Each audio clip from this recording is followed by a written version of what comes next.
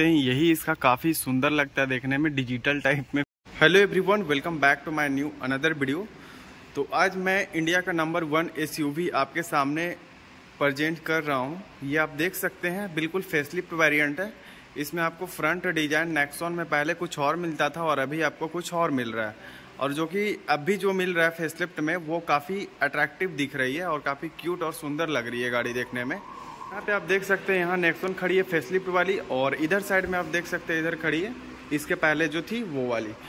तो आपको कौन सा अच्छा लग रहा है वो आप खुद ही जज कर सकते हैं खुद में। इसमें टोटल आपको सेवन कलर ऑप्शन मिल जाता है। तो आप अपने अकॉर्डिंग कलर को भी सेलेक्ट कर सकते हैं। तो भाई, आइए मैं आपको सबसे पहले इसका एक की दिखा देता हूँ बट इसमें दो की है। देख सकते हैं, यहाँ पे आपको टाटा की लोगो मिल जाती है। दोनों आपको मैनुअल की ही मिलता है। और इसमें ये बेस वेरिएंट है, इसलिए आपको मैनुअल की ही मिल रहा है। आप टॉप मॉडल भी लोगे तो उसमें आपको किलेस एंट्री वाला रिमोट की आपको मिल जाएगा। तो आइए फ्रंट डिज़ाइन से पहले स्टार्ट करते हैं। तो यहाँ पे आप देख सकते हैं, आपको यहाँ पे एलईडी डीआरएल आपको मिल जाता है, जो कि काफ़ी अच्छी लगती है देखने में।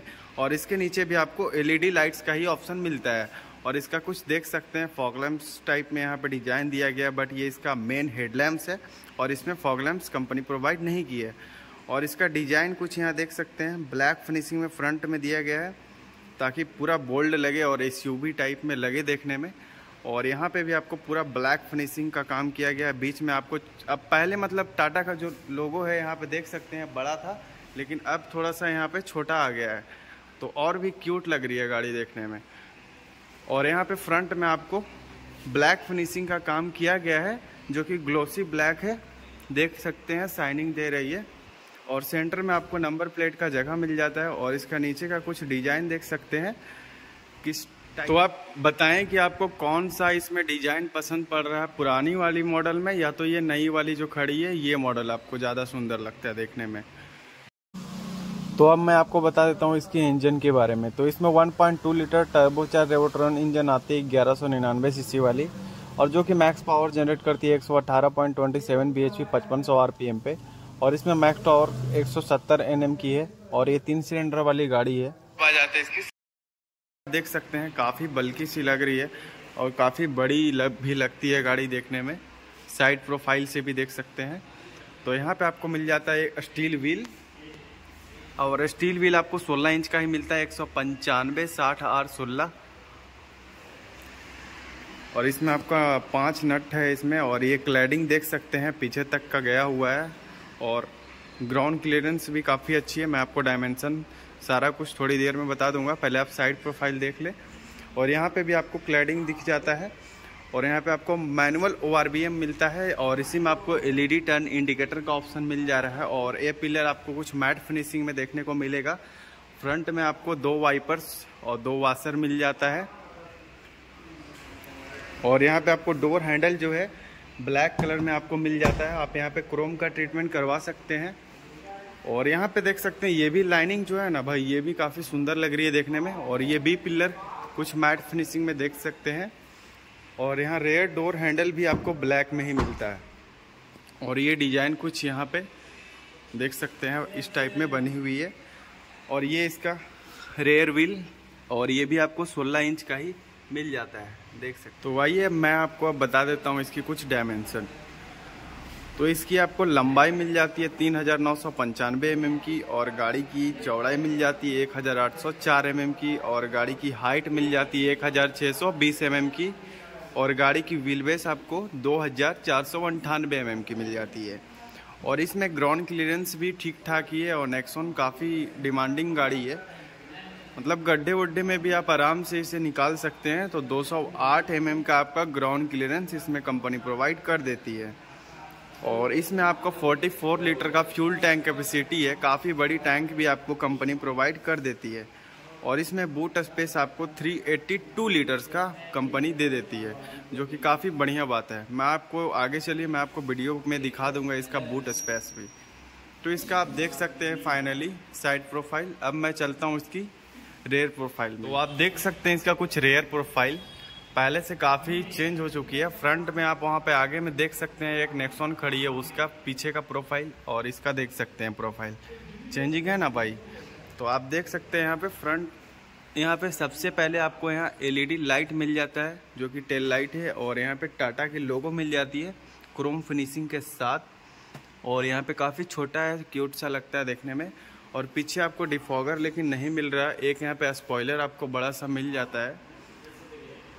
और यहाँ पे आपको मिल जाता है, देख सकते हैं रिफ्लेक्टर लाइट और एक सेंसर और इधर एक टोटल आपको इसमें पीछे दो सेंसर का ऑप्शन मिल जाता है नेक्सोन का यहाँ पे क्रोम फिनिशिंग वाला बैजिंग और इसके नीचे आपको यहाँ पे नंबर प्लेट का सेंटर मिल जाता है और इसका कुछ नीचे से देख सकते हैं।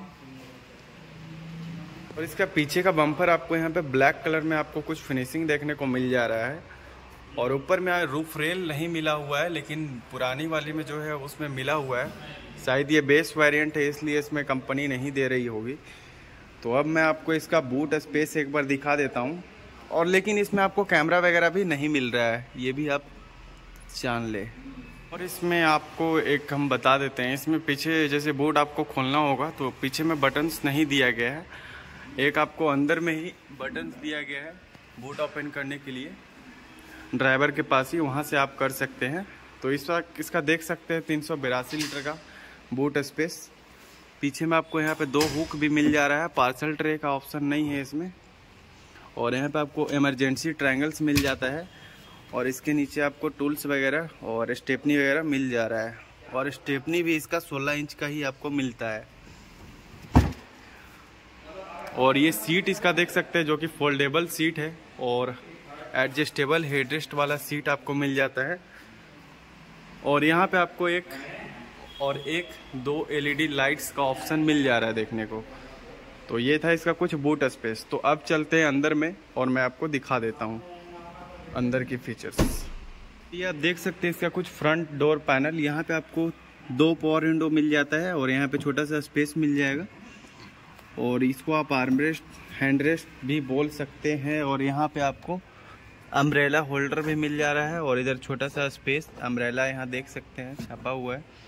और इसमें आपका म्यूज़िक सिस्टम वगैरह कुछ भी नहीं लगा हुआ है, आपको लगवाना पड़ेगा इसमें। मैनुअल आपको ओआरबीएम आपको मिल जाता है यहाँ से। मैनुअली आप एडजस्ट करना पड़ेगा आपको। और यहाँ पे सीट है जो कि फैब्रिक फिनिशिंग में आपको सीट मिल जाता है। और ये भी एडजस्टेबल सीट है, आप रिक्लाइन एंगल को एडजस्ट कर सकते हैं। और यहाँ पे मैनुअल है तो थ्री पैंडल्स आपको मिल जा रहा है। और यहाँ पे भी छोटा सा स्पेस आपको मिल जाता है। यहाँ का डिज़ाइन कुछ देख सकते हैं, इस टाइप में मिलता है। फ्रंट में आपको चार एसी वेंट्स मिल जा रहा है। और इसमें एक नई फीचर्स ऐड हुई है, जो कि काफ़ी अच्छी लगती है देखने में।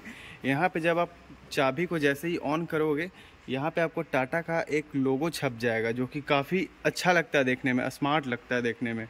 और यहाँ पे आपको डी शेप में कुछ स्टेयरिंग मिल जाता है यहाँ पे। Dual spoke. तो यही इसका काफ़ी सुंदर लगता है देखने में, डिजिटल टाइप में फील दे रहा है। और यहाँ पे आपको पूरा फुल्ली डिजिटल इंस्ट्रूमेंट क्लस्टर मिल जा रहा है, जिसमें आपको थ्री मोड्स भी मिल जाता है, सिटी, इकोनॉमी और स्पोर्ट। थ्री मोड्स का ऑप्शन है और साइड में आपको आरपीएम वगैरह इंजन हीटिंग फ्यूल और डोर अगर खुला है तो वो भी शो करेगा। Fuel range kilometre average trip बहुत सारा फीचर्स इसमें मतलब ऐड किया गया है। और इधर आपको लेफ़्ट साइड में मिल जाता है वाइपर्स की कंट्रोल्स और राइट साइड में आपको मिल जाता है हेडलाइट्स की कंट्रोल्स और इसका ये टाटा का लोगो मैं आपको एक बार ऑफ़ करके भी दिखाता हूँ। यहाँ पे पूरा ब्लैक हो जाएगा। देखिए, हो गया ना? अब फिर से इसको ऑन हो गया। और ये आपको टिल्ट स्टेयरिंग मिल जाता है। ये देख सकते हैं टिल्ट स्टेयरिंग और इसमें यहाँ पे आपको एयर बैग का यहाँ पे बैजिंग मिल जाता है। इसमें टोटल सिक्स एयर बैग है। आप टॉप मॉडल लो, या तो आप बेस मॉडल लो। आपको स्टैंडर्ड इसमें कर दिया गया है। मतलब सिक्स एयर बैग का ऑप्शन आपको मिलेगा ही। और यहाँ पे आपको मैनुअल एसी का ऑप्शन यहाँ पे आपको मिल जाता है पीछे बूट ओपन करने के लिए देख सकते हैं। पीछे में आपका कोई भी रिक्वेस्ट सेंसर बटन कुछ भी नहीं दिया गया है इसमें बेस वेरिएंट में ठीक है? और यहाँ पे आपको दो बटन्स मिल जा रहा है और यहाँ जड़ लाइट का भी बटन्स मिल जाता है। और यहाँ बारह वोल्ट का चार्जिंग सॉकेट मिल जा रहा है। यह स्मार्ट वेरिएंट है टाटा नेक्सॉन की स्मार्ट वेरिएंट सबसे बेस में अभी आई है। और ये आपका फाइव स्पीड मैनुअल ट्रांसमिशन के साथ है, एक रिवर्स छः टोटल और यहाँ पे छोटा सा स्पेस मिल जाता है, इधर कप आप रख सकते हैं। और यहाँ पे भी छोटा सा स्पेस मिल जाता है। इसमें आपको आर्मरेस्ट का ऑप्शन नहीं है, लेकिन आप टॉप मॉडल लोगे तो उसमें आपको मिलेगा। और ये आपको आई आर बी एम मिल जाता है, देख सकते हैं। और इसमें काफ़ी अच्छी बात की आपको एल ई डी लाइट का ऑप्शन मिल जाता है अंदर के लिए। और यहाँ पे आपको सनवाइज़र मिल जा रहा है। और इस साइड भी आपको सनवाइज़र मिल जा रहा है। इसमें तो आपको भाई यहाँ पे मिरर्स भी प्रोवाइड कर दिया कंपनी और यहाँ पे आपको देख सकते हैं, कुछ एयर बैग का यहाँ पे पैसेंजर एयर बैग लिखा हुआ है ऑफ़ ऑन का ऑप्शन बट इसमें बटन्स वगैरह तो नहीं लगा हुआ है बट यहाँ पे शो कर रहा है। और यहाँ पे आपको ग्रैब हैंडल मिल जाता है। और इस साइड नहीं है, और यहाँ पे भी आपको एयर बैग का बैजिंग और ये सीट बेल्ट ड्राइवर के लिए। आपको काफ़ी बड़ी सी ग्लब बॉक्स कंपनी दे देती है और इसमें आपको मैनुअल बुक और फ़र्स्ट एड किट वगैरह मिल जाता है। और इसमें सबसे बड़ी बात कि इसमें आपको म्यूज़िक सिस्टम कंपनी नहीं देती है, इसमें आपको लगवाना पड़ेगा आफ्टर मार्केट या तो कंपनी से आप जहाँ से भी लगवा सकते हैं। और इसकी इंटीरियर कुछ डैशबोर्ड देख सकते हैं, पूरा ब्लैक फिनिशिंग दी गई है। इधर डोर पैनल भी और उधर भी आपको पावर विंडो मिल जाता है। और ट्विटर लगाने का इसमें आपको ऑप्शन दिया गया है, देख सकते हैं। को ड्राइवर सीट ये भी आपको यहाँ पे एडजस्टेबल मिल जाएगा सीट भी और इसका हेड रेस्ट भी। और पीछे में यहाँ देख सकते हैं ग्रैब हैंडल यहाँ पे भी आपको मिल जाता है और इस साइड भी आपको मिल जा रहा है ग्रैब हैंडल और पीछे का कुछ सीट देख सकते हैं यहाँ पे। मैं आपको पीछे भी जा करके और बैठ करके आपको बताऊँगा इसकी कंफर्टेबल जोन कैसी है। और पीछे में पार्सल ट्रे आपको नहीं मिलता है। तो चलिए पीछे चलता हूँ और बताता हूँ आपको। आपको पुल करने के लिए यहाँ से आपको लीवर मिला हुआ है और फ्यूल भी आपको जैसे भराना हो तो यहाँ से आप पुल कर सकते हैं। तो चलिए पीछे। ये आप देख सकते हैं इसका रेयर डोर पैनल कुछ आपको मिल जाता है इस टाइप में और यहाँ पे आपको हैंड रेस्ट भी मिल जा रहा है और अनलॉक करने का हैंडल ट्विटर इसमें नहीं है बट ट्विटर लगाने का यहाँ पे ऑप्शन दिया गया है और इसमें स्पीकर भी नहीं है, आप लगवा सकते हैं। और ये इसका मैनुअल है ग्लास अप डाउन करने के लिए। और यहाँ पे वन लीटर का बॉटल आप रख सकते हैं। तो मैं अंदर बैठा हूँ, देख सकते हैं आप। मेरी हाइट है पाँच फीट ग्यारह इंच। और यहाँ पे लेग स्पेस आप देख सकते हैं, काफ़ी अच्छा बचा हुआ है। और यहाँ पे ये सीट का भी आपको एडजस्टेबल मिल जाता है। और यहाँ पे आपको ग्रैब हैंडल हुक ये सारा कुछ आपको मिल जाता है सीट बेल्ट पीछे के लिए भी आपको रेयर पैसेंजर के लिए भी सीट बेल्ट मिल जा रहा है। और इसमें हेडरूम भी काफ़ी अच्छा बचा हुआ है। तो पीछे बैठ करके काफ़ी अच्छा लगा कंफर्टेबल लगा। और यहाँ पे आपको मिल जाता है पीछे स्पेस छोटा सा, लेकिन इसमें चार्जिंग पॉइंट देना चाहिए था और पीछे रेयर एसी वेंट भी देना चाहिए था बट कोई नहीं। फिर भी आप इसका देख सकते हैं, कुछ इंटीरियर ऐसा दिखता है। पहले से काफ़ी अच्छी लग रही है देखने में, गाड़ी की ये स्टेयरिंग खास करके। एक हुक मिल जा रहा है और यहाँ पे भी आपको हुक मिल जाता है। ये आप देख सकते हैं, इसका ब्लास्ट में मैं आपको दिखा देता हूँ और सेफ्टी के बारे में बता देता हूँ। तो इसका पहले देख सकते हैं डीआरएल ऑन करके ये कैसी दिख रही है। तो काफ़ी सुंदर लग रही है देखने में। और अगर सेफ्टी की बात किया जाए तो ये तो Tata five star safety rating already है ही। साथ में आपको सिक्स एयर बैग का भी ऑप्शन मिल जा रहा है। तो बात और भी बढ़िया हो गई फिर। तो अब बात आ जाती है इसकी प्राइस की। तो अब मैं आपको प्राइस बता देता हूँ वही प्राइस है एक्स शोरूम आपका आठ लाख नौ हज़ार नौ सौ नब्बे रुपया हमारे झारखंड में और ऑन रोड आपका पड़ेगी नौ लाख इकतीस हज़ार पाँच सौ नौ रुपया। ऑन रोड हमारे झारखंड की है। आपकी सिटी वाइज कुछ भी प्राइस ऊपर नीचे हो सकती है। चलिए भाई अब मैं वीडियो को समाप्त करता हूँ और मैं फिर मिलूँगा आपसे नेक्स्ट वीडियो में। तो अगर आप मेरे चैनल पर नए हैं तो चैनल को सब्सक्राइब और वीडियो को लाइक कर ले और जितना हो सके मेरे वीडियो को शेयर करें।